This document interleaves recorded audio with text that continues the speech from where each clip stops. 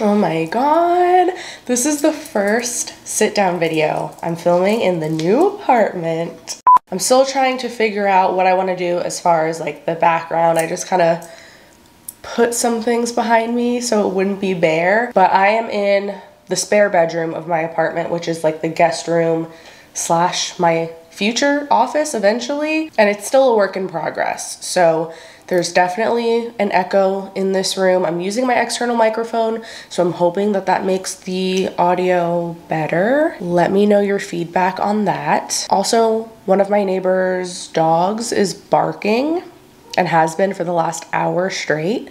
Uh, I'm hoping the microphone doesn't pick that up, but if it does, or the plane that's flying by outside, Still working out the kinks here, but hi. Welcome back. I am going to do a Q&A because it has been quite a while since the last one I did and I've been getting a few requests to do another one. I felt like, yeah, why not? So let me pull up the questions. I told you guys here on YouTube on my community tab and also on my hair Instagram page to leave me some questions. And I got a lot, so I'm gonna just answer as many as I can. Okay, the first question I see is from YouTube. Silly but fun, quick question. Out of these few 90s movies, what's your favorite if you could pick? Dumb and Dumber, Clueless, Happy Gilmore, or Mrs. Doubtfire. Definitely Mrs. Doubtfire. When I like when I think back to my childhood, that is definitely one of like the standout movies that I remember. Do you still have a passion for being a hairstylist? I've been watching you for some time, and from what you show, I feel like it's not your thing anymore. I can be totally wrong, but just wondering. Yes, I am still passionate about it. I think maybe it comes across that it's not my thing online because when I was still in Pennsylvania at my old salon, it was a lot easier for me to film because it was a smaller space and I had my own station and I had a lot of area to work in. And it just felt like a more intimate vibe. So I was constantly putting content out and showing you guys like every client practically that I was doing. So my content was more hair focused, whereas lately I might get like a few clips here and there, like, oh, here's client ones before and then here's the after. But it's just not as easy for me to record in the salon where I'm at. Like some days it is, most days it's not.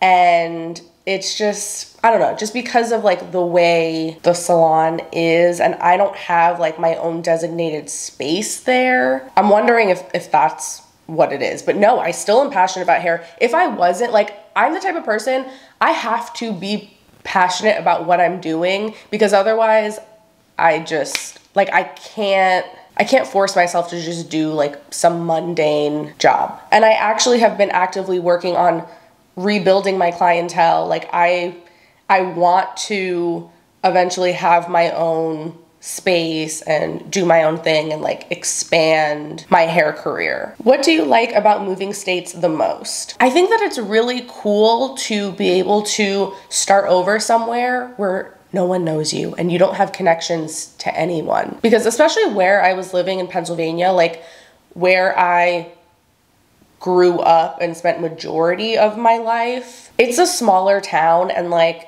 everybody pretty much knows everybody. Or if you don't directly know the person yourself, you know people that know them. So no matter what, I feel like people are always going to have like some sort of an idea about you, some preconceived notion about you.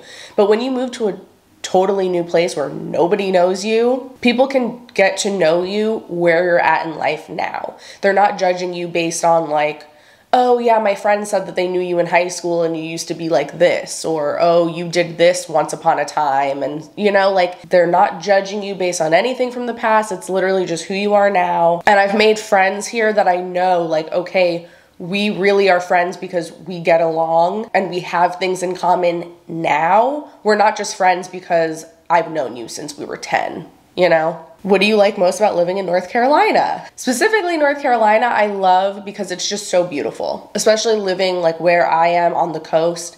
It is gorgeous here. The people are super friendly and the weather is perfect. I love the humidity, but I also like the change in seasons. So it's like my perfect place here. It does get kind of cold in the winter, but it never gets freezing. We never have to worry about snowstorms. In the winter, it still stays sunny. The sky stays blue. It's not like up north where it's just gray and gloomy all winter long. If this is too personal, feel free to ignore me. What is your religion? I am not a religious person. I grew up technically Catholic because my mom is super Italian. So I was like baptized in a Catholic church. I did communion. I went actually to a Catholic school up until fourth grade, but I don't identify like I, I'm all for practice what you want to practice, believe what you want to believe, as long as you're not hurting anybody, all the more power to you. But I don't believe in religion. Like, do I think that there's possibly a higher power? Yes, in some sense. I think I'm more spiritual if anything. But if like I had to guess, I honestly think that everything is just a computer simulation. So that's where I, stand on that. Tips on how to manage your finances with your income being inconsistent month to month. I feel like it's hard enough already with consistent income as an hourly employee at the moment. That's my fear that's keeping me from my dreams of becoming a full time hairstylist. Add up all of your monthly expenses. And I'm not talking like going out to eat and getting coffee and your Netflix and whatever, like your basic bare necessities, your rent, your car payment, your car insurance, your electric bill, like those things, and groceries, obviously, that have to be paid every single month in order for you to just live your life at the bare minimum. Now you know how much money you need to make each month just to survive month to month. As long as that's a number that you feel like, okay, I can make that work. And also make sure that you're aware of all of the smaller things that you might have set on like an auto pay, like, you know, a streaming service or something like that. I feel like a lot of people just spend money and aren't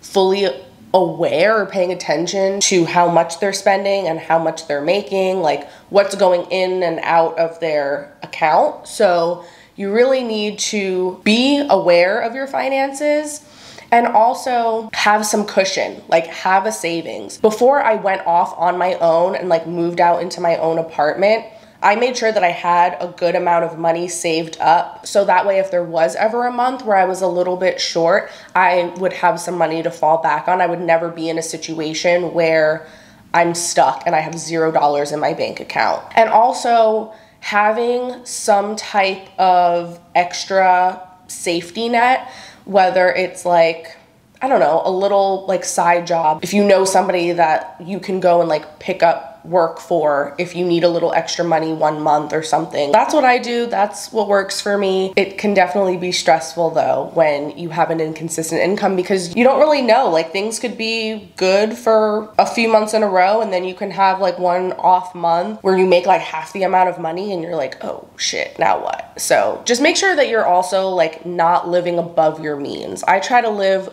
below my means for the most part just to play it safe so that again I always make sure I'm never put in like a bad situation where I don't have any money. What method of contraception are you using since getting off the birth control pill and how are you feeling since getting off of it? I've been feeling amazing. I've been off the pill now for two and a half years, I think, at least. I have felt amazing.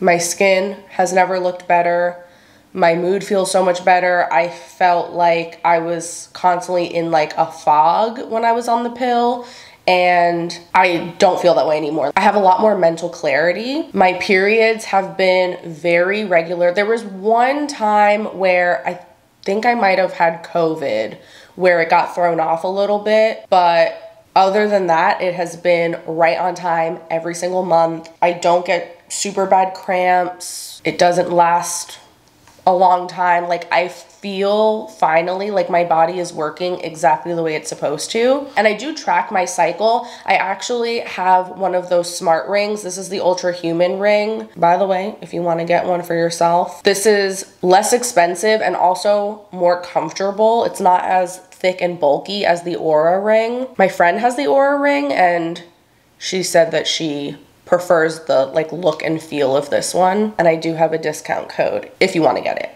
Um, but this will track my cycle for me. But I don't even feel like I need that because I can just tell with my body where I'm at. I just kind of use the app to confirm, but I can tell like when I'm ovulating. I can also feel it most months which is really cool. I had never experienced that before. I just feel very in tune with my body. With my boyfriend and I being long distance, luckily I don't have to really worry about it too much.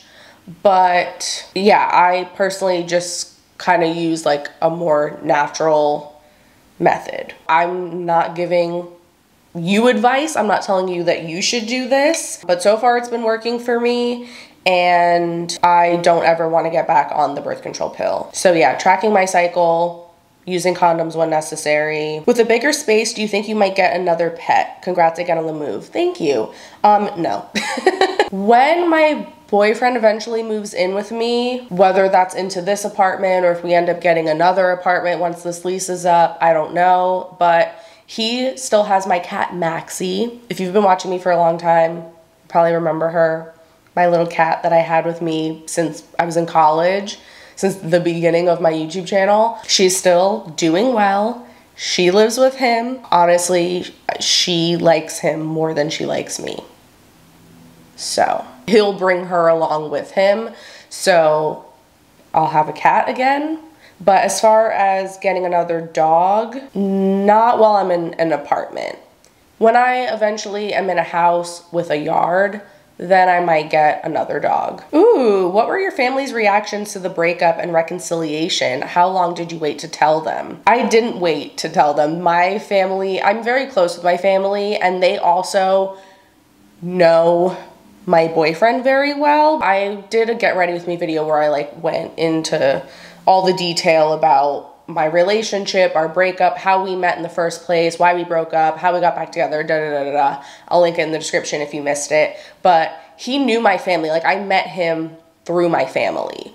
So they were always like in the loop and knew that like we were still in contact. And there were times throughout the last like two years where it was a little bit unclear. It's like we were seeing each other kind of, but we weren't like technically back together. So I don't think they knew like all the intimate details, but they knew that like we were still in contact. And I think they figured we were gonna end up getting back together anyway. And I don't think that I even actually had like a specific conversation where I was like, yeah, we decided to get back together. It just happened naturally and they just kind of were like oh uh, okay like they're together now. I, yeah so but what they thought about it i don't know i never really asked. I think you know my family obviously they like him he likes them everybody gets along but ultimately at the end of the day they just want me to be happy. So my family's never been the type to like get super involved in my relationships and like express an opinion on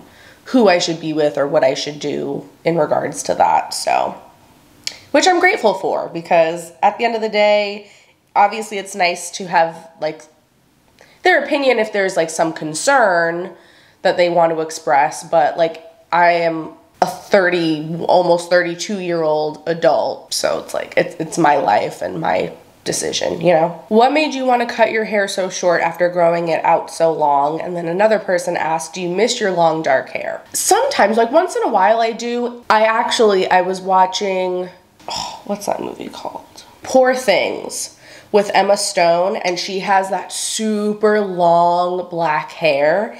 And it was kind of making me miss the long dark hair. I'm not gonna lie. But for the most part, no, I don't because it was just so hot. And I'm a really short person. So it, I felt like it just overwhelmed me when I wore it down. And unless I was wearing like a very plain basic outfit, I felt like I always had to put it up because otherwise I felt like it just overpowered my clothes. I love the short hair. It's just so much faster and easier to do. It feels more comfortable, like not having all the long hair on my back and shoulders. I just grew it out because I had never had my hair super long like that naturally without any extensions. And I just wanted to see like how long could I get it and how would it look? And I did it and I just kind of got to a point where I was sick of it and I wanted to go short because I've always liked how I look with this kind of length of hair. And I was just ready for a change. So that's the beauty of hair, you know, it, it grows back. I think I am gonna grow it out a little bit longer, like not super long, but like, I don't know, maybe like down to here-ish. And then I'll kind of see how I feel if I wanna go even longer or chop it again. I had multiple questions about Benny. and how he is liking the new apartment. Is there a dog park nearby for him? How is he enjoying like having more space to run around? He is loving it. We both are loving it. And yes, there's actually two dog parks in the complex where I live. He's made a lot of dog friends here. I'm also really close to a big park with a really long walking trail. So we have gone on really long walks, which is so nice because the place I was at before, there wasn't really space to walk. Like I could just kind of walk around the complex, but I could loop that whole place in like 10 minutes. But here it's a much bigger complex and there's just so much more to do, so much more for him. And I definitely can tell, like, he just seems so happy. And it's been great. I love having the extra bedroom and the extra bathroom. I already had my first guest. My brother came and stayed with me for a week last week. And I actually have another guest coming to stay. My friend is getting here tonight and she's gonna stay with me for a week. In the old apartment, it was so tiny that it was a little overwhelming after, you know, a day or two.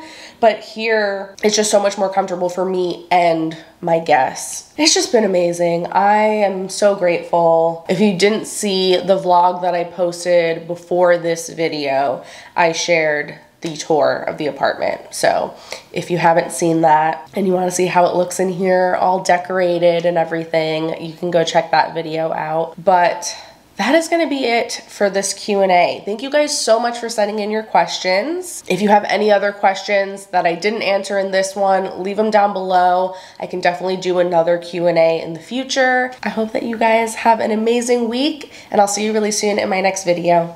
Bye.